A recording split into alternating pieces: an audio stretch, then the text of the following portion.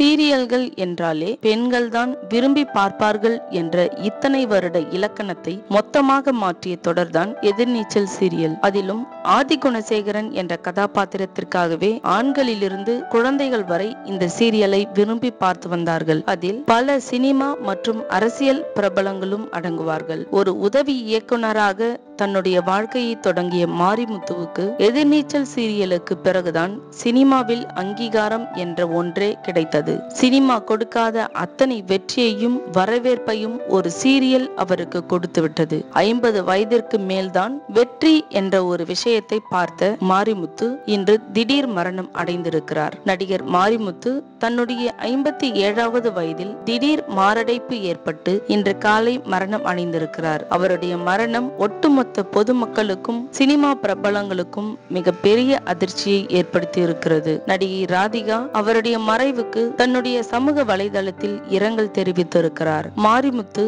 சினிமாவில் கடந்து வந்த பாதை ரொம்பவே அதிகம். கவிஞர் வைரமுத்துவிடம் உதவியாக உதவியாளராக இருந்து ராஜ்கிரனின் இரண்டு படங்களில் உதவி இயக்குநராக பணியாற்றி இருக்கிறார் அதன் பின்னர் இயக்குநர்கள் மணிரத்னம் வசந்த் சீமான் எஸ் ஜே சூர்யா ஆகியோர்களிடமும் உதவி இயக்குநராக பணியாற்றி இருக்கிறார் மேலும் கண்ணும் கண்ணும் புலிவால் என்ற இரண்டு படங்களையும் இயக்கியிருக்கிறார். சமீபத்திய தகவல் படி அவர் எதிர்நீச்சல் சீரியலுக்காக டப்பிங் செய்து கொண்டிருந்த போது மாரடைப்பு ஏற்பட்டு இறந்து விட்டதாக சொல்லப்படுகிறது. அவருடைய மறைவு தமிழ் சினிமாவுக்கு ஏற்பட்ட மிகப்பெரிய இழப்பு. அதிலும் இனி எதிர்நீச்சல் சீரியலை அவர் இல்லாமல் நினைத்து கூட பார்க்க முடியாது. எப்பேற்பட்ட திறமைசாலியான நடிகர்கள் கூட ஆதி குணசேகரனாக நடிக்க முயற்சி செய்தாலும் மக்களால் ஏற்றுக்கொள்ள முடியாது என்பதுதான் உண்மை. இது எதிர்நீச்சல் சீரியலுக்கு ஏற்பட்ட மிகப்பெரிய அடி.